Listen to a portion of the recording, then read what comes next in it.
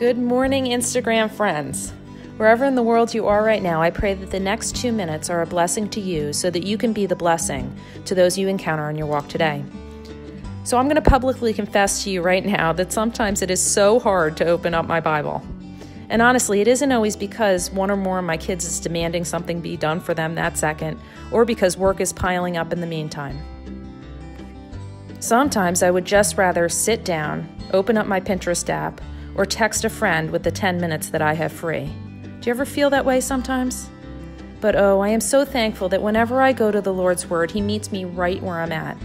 It's honestly a miracle every time, and I don't know why it surprises me that the God who made me would know just what I need at just the right time. But it does surprise me. His love catches me off guard. But I, or I should say we, shouldn't be surprised. We should actually be expectant of His love when we open the Bible.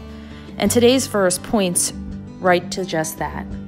Romans 15:4 says, "For everything that was written in the past was written to teach us, so that through the endurance taught in the scriptures and the encouragement they provide, we might have hope."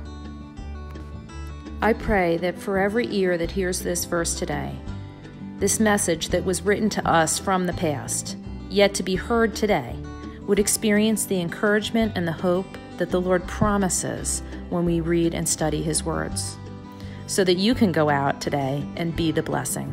Until next time, Katie.